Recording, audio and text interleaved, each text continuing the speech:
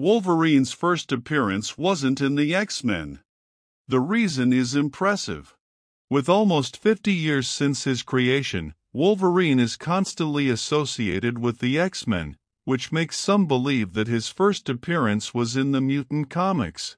However, what few know is that the character's first story featured him as an antagonist of another hero, the Hulk.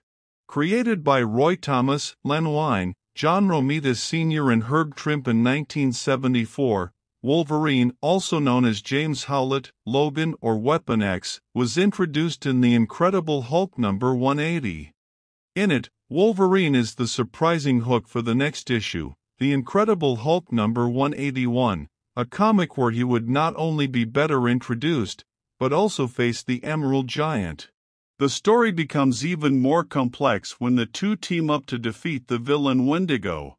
However, the first impression made on Wolverine about the Hulk is the one that remains with the mutant, which causes the two to face each other consecutively in the magazine.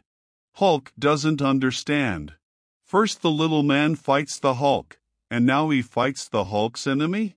But if the Hulk's enemy is the little man's enemy, then the little man is the Hulk's friend, says Hulk, confused in the story.